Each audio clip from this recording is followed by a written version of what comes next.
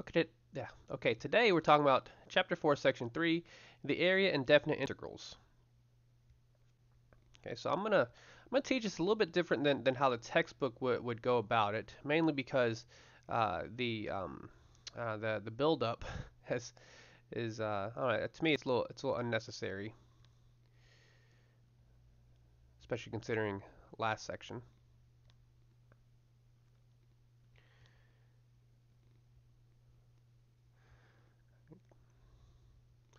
So everything everything I'm, I'm about to skip is is um, honestly we're going to do it in, in, in example four. It's just we're going to know what we're doing it, what we're doing, and why we're doing it. Let's go ahead and skip or snip that. And I'm to go ahead and uh, and jump straight to this theorem as well because this theorem is um, well it's it's it's the main part of integral calculus. This is uh, the fundamental theorem of it. So starting at the top, uh, in 4.1 and 4.2, we consider examples in which we showed a relationship between the area under the graph of a function f and the function's antiderivative, capital F. So keep that in mind, the antiderivative is the capital F. In this section, we show that this relationship is true for any continuous function over a closed interval. This result is known as the fundamental theorem of calculus. So real quickly, let's uh, again, we don't necessarily need need this, but but uh, the, the, top definition leads into the fundamental theorem. So let f be any continuous function over, and again, this uh, recall that this notation is just an interval uh, from a to b. Doesn't matter what a is, doesn't matter what b is. It's just an interval from there uh, a to b. And f, capital F, be the antiderivative of lowercase f. Then the definite integral of lowercase f from a to b is, and the notation is written like this. So uh, again, we just have some, some function, right? Doesn't matter what some function, right? But we put the numbers, we, we, we put the, um, the, well, if, if you think of AB as a number line, or, or on a number line rather, A is the smaller number, uh, the number that's farthest to the left on the number line, and B would be the number that's farthest to the right. Well, the notation is written with an A down here on the lower part of the integral sign, and then the B is written up here to the top part. That basically tells you where your interval is located.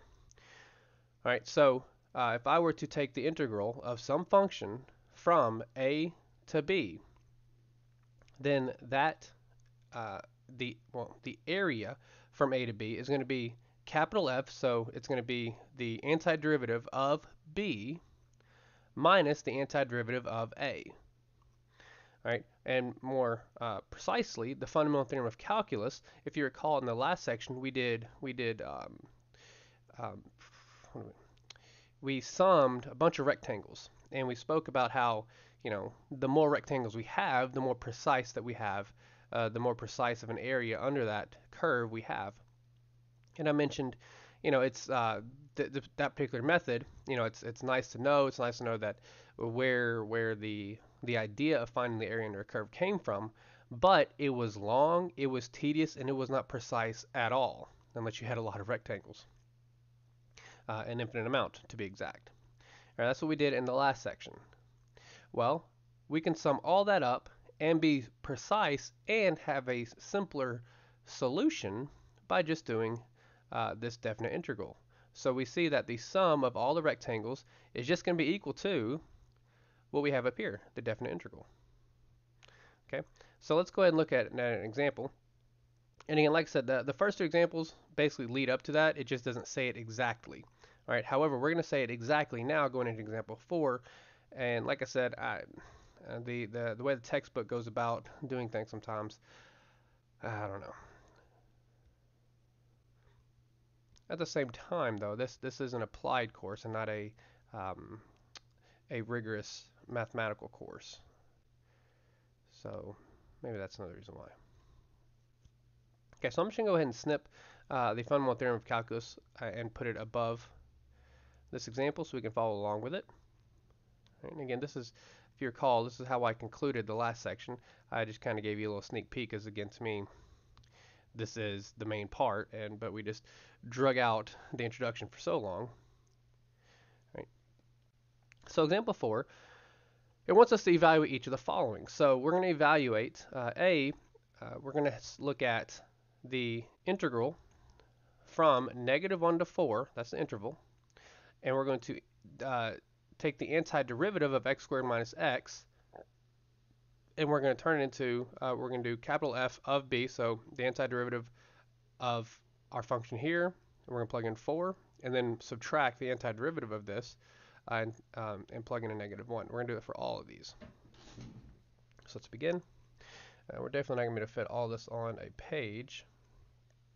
So uh, let's go ahead and take the antiderivative here, and the antiderivative um, is going to be, so what is the uh, antiderivative of x squared? That's just going to be x cubed over, oh, by the way, the notation is super important. So the way you do this is uh, you basically put it in bracket. It doesn't necessarily show it here. Let me see.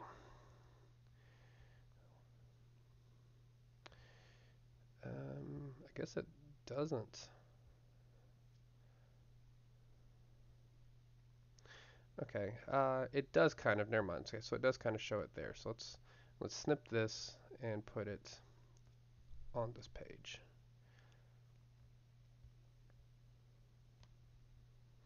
Okay, and the notation is pretty important because it, it helps it, it helps uh, keep your keep your ducks in a row here.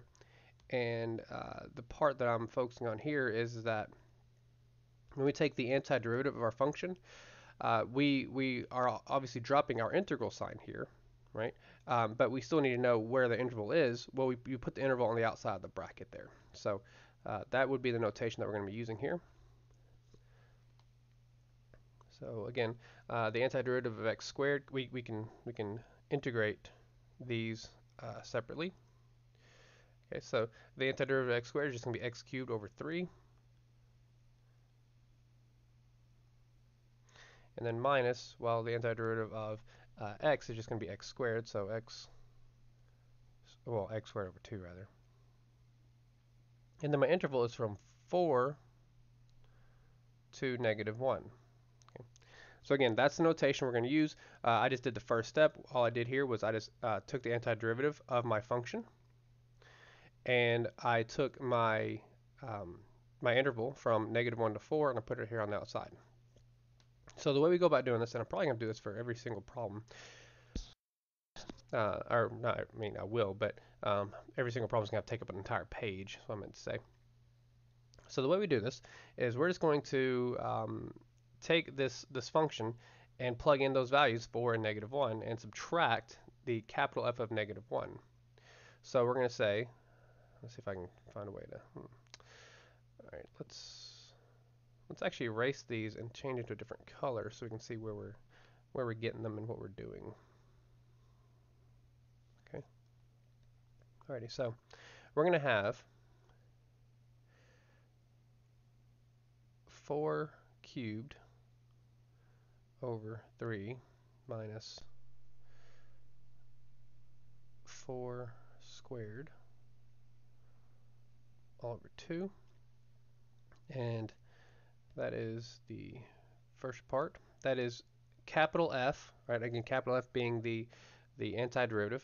Um, so we're taking the, the antiderivative here, and we're uh, evaluating at 4, and then we're going to subtract the antiderivatives of uh, 1, uh, evaluating at negative 1 rather. So we're going to have uh, negative 1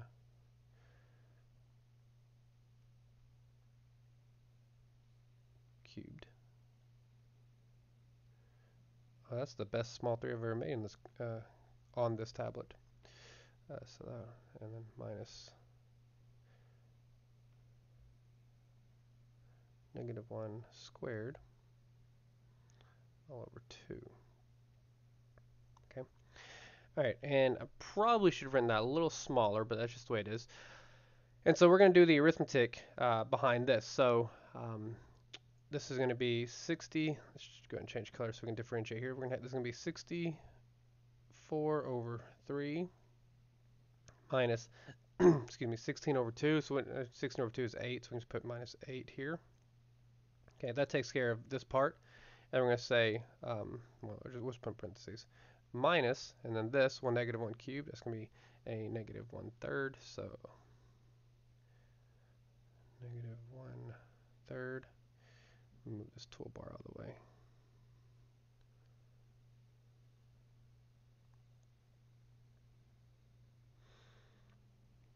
Okay, uh, negative 1 third, and then minus, um, well, negative 1 uh, squared is going to be 1 half, so 1 half. Alrighty and uh, I'm going to go ahead and drop the parentheses uh, for this and do the arithmetic. So I'm trying to keep this on one page so we can, you know, the, first parentheses, no big deal. Um, I distribute this negative sign through so they both become positive. So I'm going to drop the parentheses and make them both positive.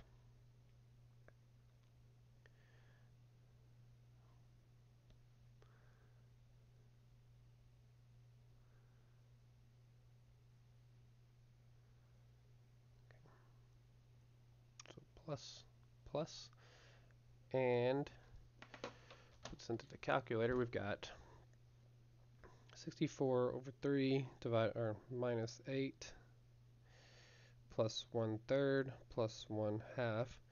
We end up with 14.17. So 14.17. Okay. And well, that was it. All right, uh, that was uh, well, I'll say that was that that is basically the the whole idea of the fundamental theorem of calculus, um, fundamental theorem of integral calculus. So let's go ahead and snip this and go to B. And see if I can write this a little smaller this time. Okay, so did I write that as A? Okay, good. All right, so B. All right.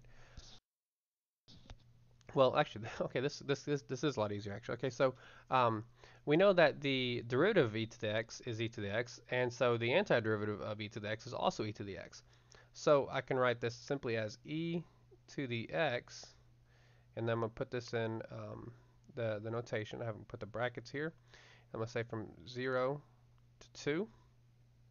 So all we have to do is figure out uh, e squared minus e to, to the 0th power. So we're to say e squared minus e to 0th power. Okay. Well, e squared we know is, uh, do we do we actually know that? Uh, no, actually, I don't think we do actually. Um, but e squared is uh, 7.389 and then minus 1, right? Because uh, e anything to 0th power is 1. So I end up with a 6.389. Uh, 389. Hmm. Well, that was pretty easy. Right. And next up we have 1 over x. So again, these are just, I guess, um, nice little refreshers on on uh, your your your simple antiderivatives. Okay. So what is the so we know that uh, the derivative of natural log of x is 1 over x. So therefore the antiderivative of 1 over x is going to be the natural log of x. So c uh, what is, oh yeah, natural log of x. So we're going to say the natural log of x from 2 to 5. So we'll just write this as the natural log of 5 minus the natural log of 2. And what is the natural log of 5 minus the natural log of 2?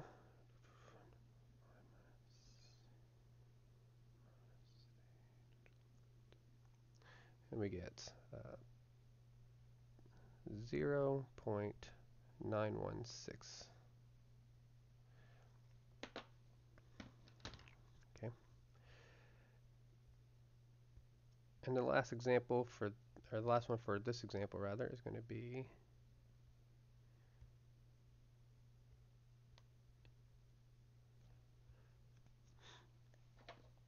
one over x. So uh, what is the antiderivative of 1 over x?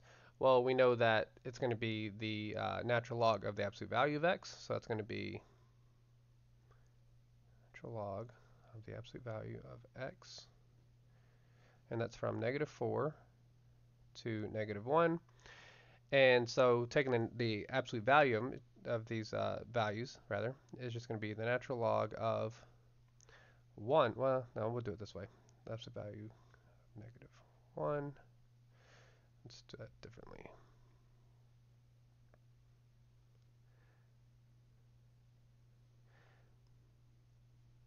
Negative. There we go. uh, minus the natural log of negative 4, the absolute value of it. So again, that's just going to be the natural log of 1 minus the natural log of positive 4. So it's going to be, well, we know natural log of 1 is, is 0, so it's just going to be a negative natural log of 4. So negative 1.386.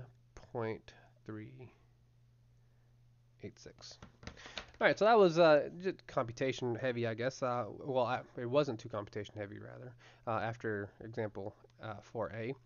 Uh, but that, that is just basically the, the fundamental theorem of integral calculus. You just, you just basically integrate your function, and then you evaluate your function at your uh, boundaries, uh, your boundaries on the interval.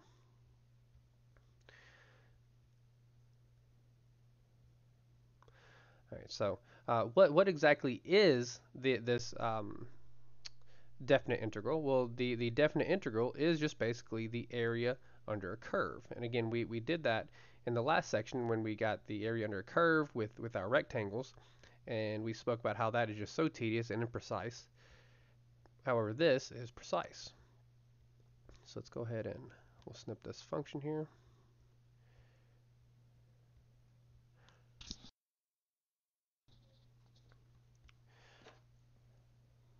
Alright, so looking at the text up here, when we evaluate the definite integral of a non-negative function f over the interval from a to b, we get the area under the graph of f, or, uh, the, uh, I'm sorry, we get the area under the graph of f over that interval. So 1 over x squared, uh, the function 1 over x squared, uh, is that like this?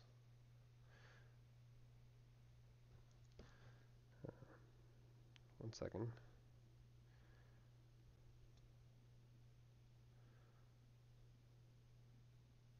No, I'm sorry. I, I knew better. Alright, so my function 1 over x squared looks something like this. Okay, and uh, remember all those times in in your previous courses where you had to find the domain of a function? Uh, well, this is um, basically the domain, the domain being our interval. So looking at this particular example, we're wanting to look at just the area between, just the area between right here 1 and 10, just the area between 1 and 10. And we see that uh, better represented uh, in the picture here. So we're trying to find just the area under the curve between 1 and 10. So how do we do that? Well, we do it the exact same way we done uh, we did rather the the examples in the previous examples and yeah so the way I'm going to write this I'm going to write uh, so we're, we're, wanting to find the area under the graph of y is equal to 1 over x squared uh, over the interval from 1 to 10 so if I were to write this in a precise manner I would write simply the integral symbol like this. Uh, we are going to put a 1 down here a 10 up here. And then my function is um, 1 over x squared, so we could we can write this 1 over x squared dx. All right, so real quickly, before we, we get too far, this dx that we put here, uh, that basically tells us that we are integrating a the derivative of, of, of some function. That some function is the function that we're going to find. Now, uh, it, it is important to put, uh, especially because, and we're not actually going to do that in this course, but whenever you do something called integration by parts, and I think it's uh, chapter 4, section 6, you use that dx because, it, it again, it's, it's the, the notation is precise, and in order to integrate, you have to take the derivatives of, of different uh, parts of your function whenever you integrate by parts. Uh, I hesitate to say that, you know, in this course you can get away with not putting that there, but if you want to be more precise with the notation, uh, you really should, especially um, because you never know, you never know where, where your career might lead you, and you might actually go down a career in, in mathematics. And so, oh, that, that's that's my moment, I guess. Uh, anyways, so how do we uh, uh, different or integrate this? Well, let's go ahead and uh, rewrite this now instead of um, 1 over x squared. Well, that's just the same thing as saying x to the negative 2, right? And of course that makes it a lot, uh, a lot easier to integrate because, well, we take the, the negative 2, we go up 1, uh, we, rather we add 1. So we end up with, uh, where shall I write? So we end up with uh, x to the negative 1 over uh, 1. Sorry, negative 1. Okay, and um, from here we can change, we can equate that. Let's put our notation here better. Uh, from 1 to 10. Right? Uh, I, don't, I don't know about you guys, but I don't really like dealing with negative exponents. So we can instead change this to a uh, 1 over x and then the negative out front. Right. All I did was, was take this negative exponent, put it down there in the bottom, and it becomes 1 over x, and of course this negative 1, the negative sign goes out in front. Right, from 1 to 10, and that's going to be equal to Oh, that's pretty easy actually. Um, it's going to just be equal to negative 1 over 10 um, minus, uh, minus a negative, we'll just go and put that like this, um, 1 over 1, which is just 1. Okay. So we're going to have a negative 1 tenth plus 1, which is going to just be equal to 9 tenths. Okay, so the area under this curve is just simply um, 9 tenths, or 0.9. Okay, so what what does the area under the curve represent? Well, it it, it, it is just the area under a curve. So, um, however, let's get go into some examples here, uh, some real world examples, some applied examples.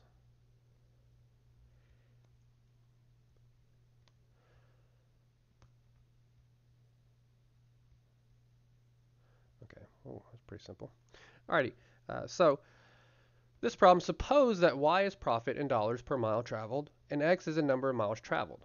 Okay, so y again is just the name of the function, it's going to be the profit in dollars, and x is just going to be the number of miles traveled in thousands.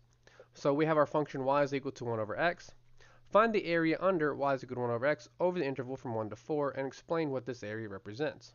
Okay, so uh, a moment ago I the, first thing I drew right here, uh, 1 over x looks like this.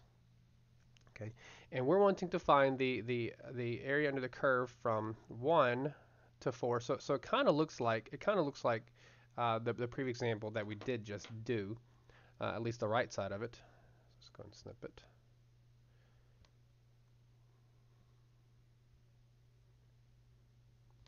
Okay. All right, so the first thing we're going to do, let's go ahead and, and do the integration here. And then we'll explain what it means. Okay, so uh, we've got the integral, the integral of uh, 1 over x dx uh, from 1 to 4. All right, well, the integral here is just going to be equal to uh, the natural log of x from 1 to 4. And so we're going to have the natural log of 4 minus the natural log of 1, and that's just going to be equal to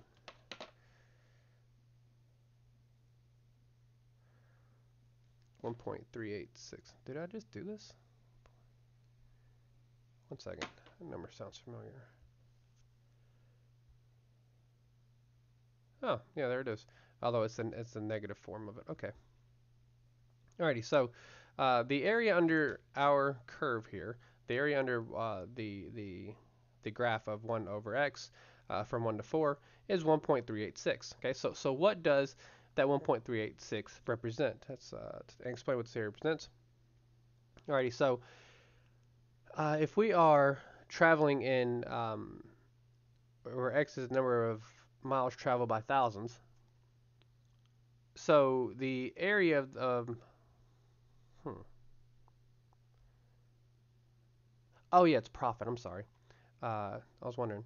So from one to four, we see that we have a profit of um, doesn't really say. Oh, it's in, uh, 1,386 Okay, so where do I get one thousand three hundred eighty-six? Well, again, uh, x is in thousands, or uh, x is, is a number of miles traveled in thousands. So uh, obviously, if I just take this and you know 1.386 and multiply it by a thousand, we'd get $1,300. Uh, so what that area under there represents is just that we have a profit of uh, $1,300 or close to $1,400 uh, when we travel from 1,000 to 4,000 miles.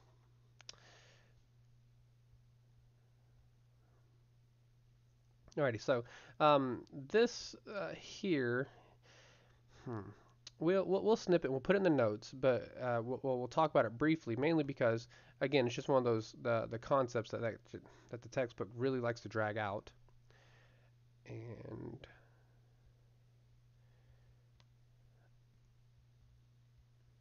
There's nothing wrong with that concept. It's just that since this is more of an applied course, it's not. I don't know. I hesitate to say it, so I'm not going to. I guess. Um, do that. And then our figures over here. Shoot. Okay, on second thought, let's just discuss it in the video and not snip it because I want it to look pretty, but I can't put those graphs over there. Alrighty, so what is what is this thing? Well, if we were to look at the, uh, we, we know the x squared, laser pointer, we know the x squared is a, is a parabola, right? And then negative x squared is a parabola opening downward, right? Well, if I were to integrate the um, the function x squared from 0 to 2, well, uh, it's going to be a positive 8 third if it's above the x-axis. And it's going to be a negative 8 third if it's below the x-axis. And that's realistically what, what this is all, saying, is whenever we talk about the area under a curve, uh, whenever we talk about the area underneath the the x-axis, we we consider that a negative area. And now uh, it's a negative area, but it makes sense, and we'll see how it makes sense when we get to the uh, next two examples here.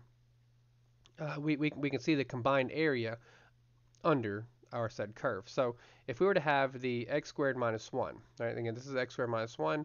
This is just a parabola, again, and the minus 1 tells us that we uh, shift down one unit. Well, the process here that the textbook is going over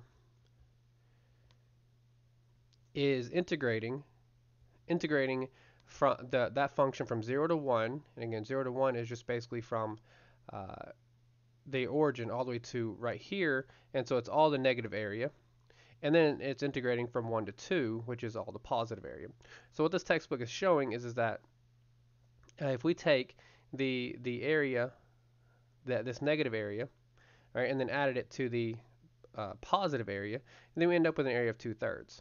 Well, conveniently, you don't have to do this, you don't have to do it the long way, and you can just simply say that, well, instead of going from 0 to 1 and then 1 to 2, you could indeed just go from 0 to 2 for this function, and then that negative area is taken care of. So, well, that's it. I know it's pretty hand wavy, uh, but I also know that as, as students, some things are just, know, some things are just, and and I suffer from this. There there are ways to say something too much, and I th- I think that is just one of those one of those cases. Actually, I don't think we need to put it on a new page.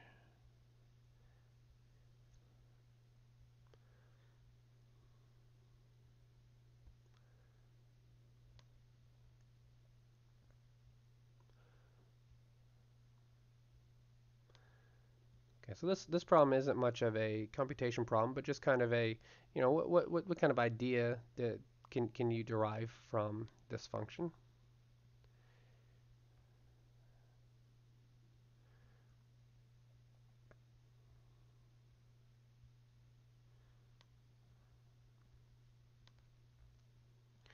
Alrighty, so this problem reads, consider our function, um, predict the sign of the results by examining the graph shown to the right and then evaluate the integral. Okay, so looking at looking at this graph, right, it appears that we have more of the negative area than we do the positive area. So, so the prediction, you know, pretty simple here is just that, well, I, I'm, I'm pretty sure that when I evaluate this integral here, I'm going to end up with a negative number. Okay. Again, that's only because, like I said, the, the, the pink shaded area, well, it looks like there's more of it than the gray shaded area. So let's go ahead and, and integrate this.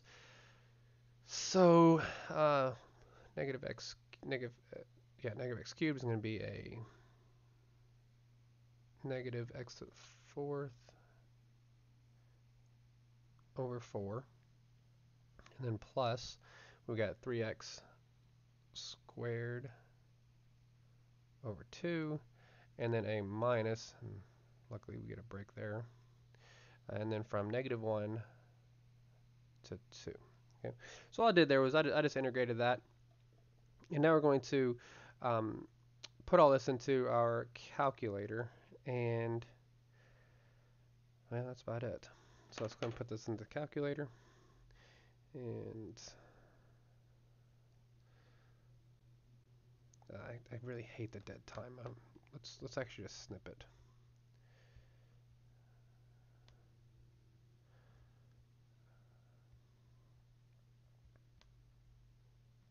Okay, so uh, we we integrated our our function, and then when we plug in, you know, two, and then subtract uh, the you know capital F of negative one, we end up with sure enough a negative area. And of course, you know that's pretty easily uh, predicted because, well, like we said, the the the pink shaded area is is uh, just visually it, there's more of it than the gray shaded area.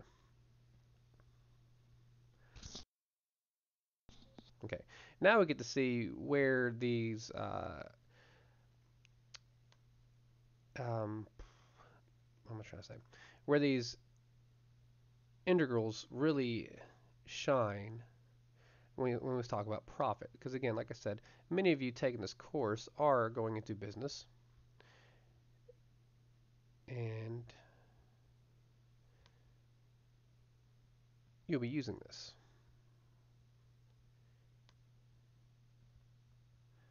If you don't, I mean, a, a program will or something will, I don't know.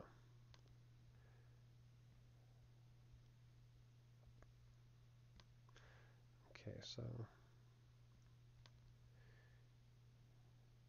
there we go. Alrighty, so Northeast Airlines determines that the marginal profit in hundreds of dollars per seat from the sale of X seats on a jet traveling from Atlanta to Kansas City is given by our function here. And it is uh, capital P, uh, capital P prime of x is equal to the abs I'm sorry, yeah, the, the square root of x minus 6. And we want to find the total profit when 60 seats are sold. Okay, so um, looking at this particular function, right, just look at it real quick. It appears that um, up until about 35 seats, we are operating at a 100% loss. So uh, for for this for this plane um, for this plane to begin, not not make profit, but begin to make profit, we need to sell more than 35 seats. Okay, but if you recall, keep in mind uh, from the previous example, we said, let's go back. We said that there was more negative area. Again, the uh, the area underneath the x-axis. There is more negative area than positive area. Okay, and this is a pretty interesting example here because if we look here, well, notice how all the negative area is right um, from you know from 0 to about 35 and then like I said we begin to make profit here in this gray area but if we look at this we're wanting to find the total profit when 60 seats are sold um, and of course we have the the pink negative area and the gray positive area what looks like there's still more shaded pink area than there is gray area so looking at this without without even uh, you know integrating, it looks like we're not even making a profit at all because well there's there's more negative area than positive area. So it looks like honestly it looks like maybe about 75 or 80 seats is when we're going to start to make profit to cancel out the um, uh, it's not negative profit, is it? I don't know.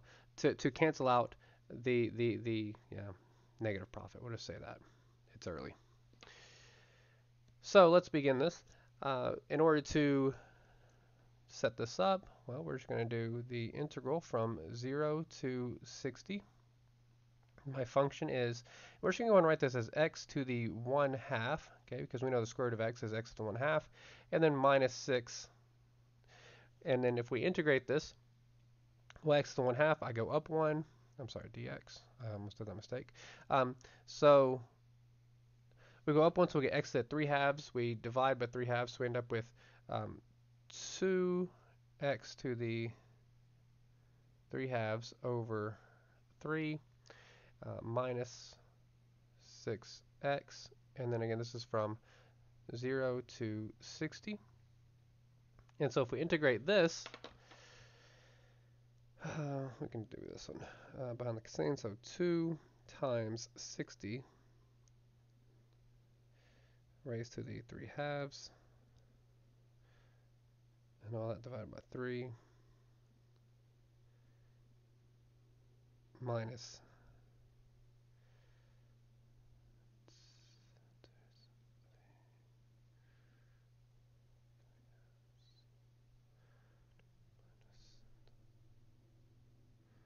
Okay, so we end up with a, sure enough, we have a negative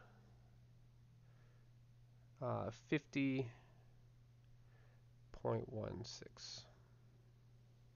Okay. Now, again, whenever we have the zero here, it's pretty easy, right? Because, I mean, if we plug in a zero, that goes away, that goes away. So really, I only had to integrate or um, evaluate at 60. So sure enough, um, we don't even have a profit when we sell 60 seats. We, we, we're operating at a negative profit, uh, precisely um, negative 50.16. Uh, and okay, it's, it's in hundreds of dollars. So um, multiply that. So we're looking at a profit of negative uh, $5,016.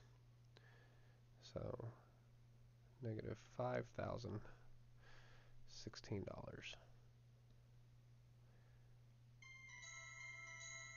Hmm. That's awful. Sorry about that. Okay, so uh, what does this what does this mean? Again, like I said, when we when we originally looked at this, I said, well, hey, you know, we have, we the area under this curve here is is more than the area under this curve, and so we, you know, of course, I, I knew the answer, but uh, looking at the the graph of it, we we could say, well, we're going to have a, a negative profit here, and sure enough, we do whenever we integrate from zero to 60.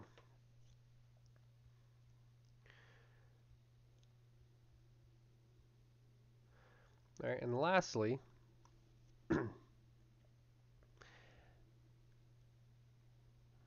snip this and give it its own page real quickly. So I've said before uh, in, in a lecture, we talked about position function, velocity function, and acceleration. So, well, say this, I'll just put it front and center because it, it, it's saying the same thing that, that we talked about earlier. Uh, if we take the, the uh, we have some possession, some, some position function s of t. Okay. If we take the derivative of s of t, the first derivative is the velocity. The second derivative of s of t, or the first derivative of velocity, is acceleration. So, yeah, let's actually do that like this. Um, s of t, no, actually, I, I think that would be confusing. We'll just keep it. We'll just keep it like this. Okay. So if we talk about taking the first first derivative of my position function, we get velocity. The second derivative of my position function is acceleration. Well, then we can obviously work backwards as well, right? If we have uh, acceleration and we take the derivative of the, I'm not derivative, we, take we integrate the acceleration function, we get velocity. And then if we integrate the velocity function, we get the position function. And so we're going to uh, do that here in this example. next example here, rather, sorry. Oh, did I miss it? Oh, yeah, here it is.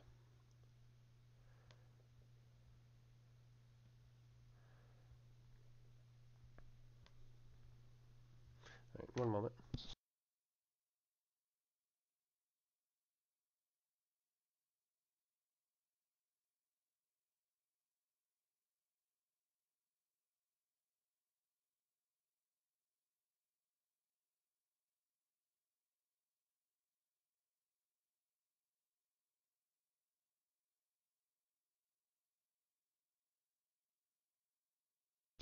Okay, sorry about that.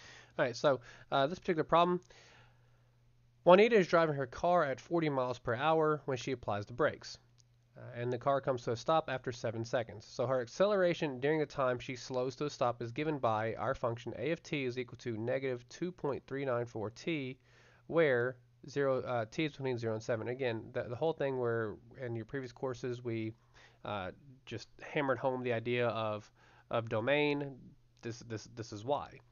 So uh, A, we want to find Juanita's velocity function v of t over 0 to 7.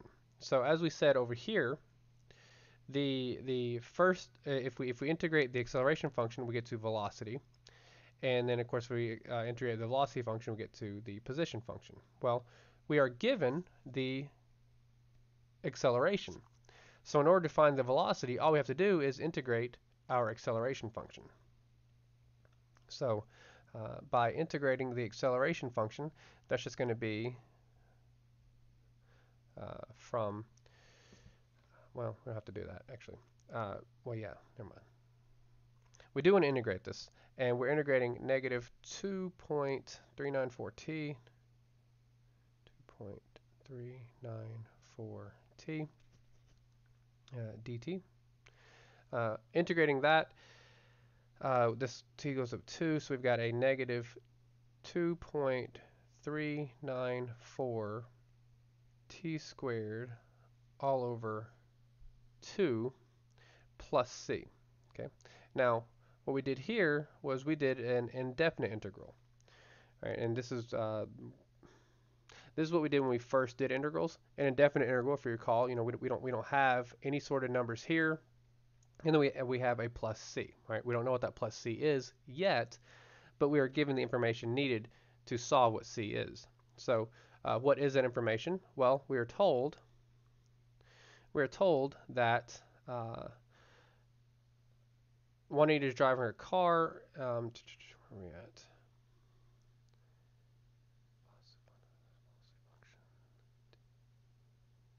Okay, so uh, our position function here is just going to be v of t is equal to not position function, sorry, our velocity function, is equal to a negative 2.394 t squared. Um, you know, actually, let's just move this to the right and put the v of t there. All right, so um, we're told that she is driving her car at 40 miles per hour or 58.67 feet per second. And we want to find her velocity function. So we're going to do this in feet per second. So at time equals uh, t equals 0, we have 58.67 uh, feet per second. And then uh, we're going to we put in 0 over here for t and I said this was like a circle, but we're going to put 0 for t because that's at the uh, initial time. So at the initial time, uh, we are um, driving at 58.67 feet per second.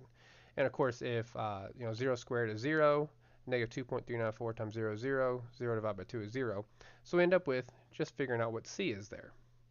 And again, that's just doing the initial time with, with, with, our, with our speed here. Okay, So my velocity function is now set. My velocity function is v of t is equal to negative 2.394 t squared all over 2, and then plus c, which is just going to be my uh, 58.67.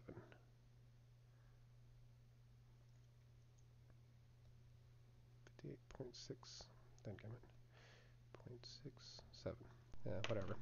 All right, so this is my velocity function, and uh, in order to get to the, the next part, let's go ahead and we're going to have to snip this.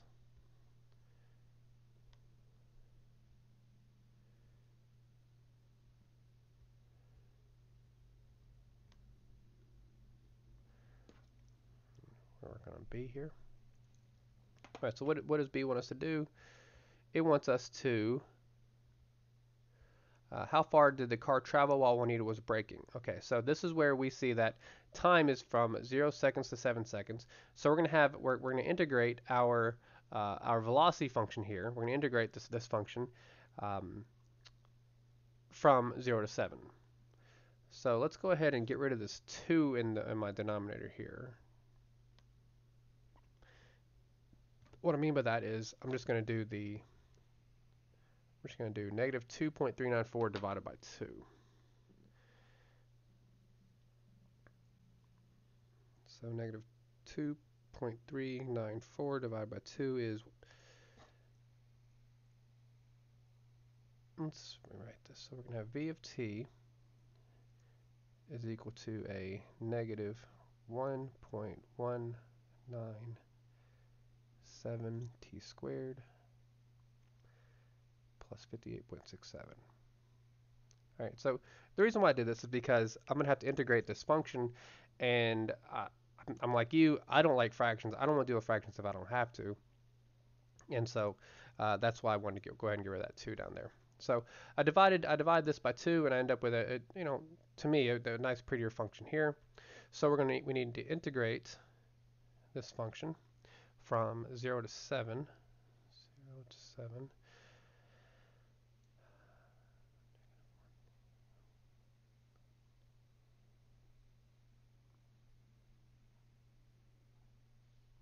and then dt. And let's snip this puts on the next page. Let's snip it a little bit better.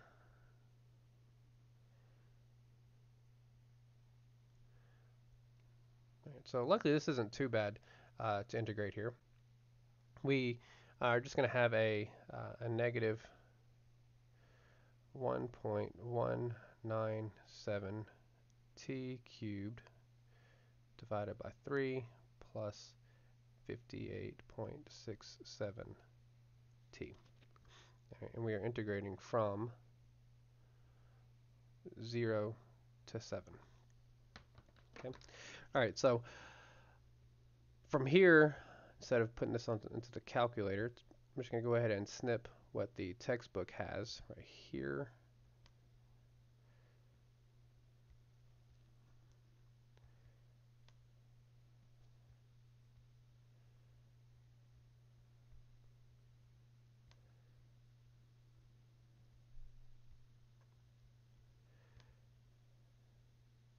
We go.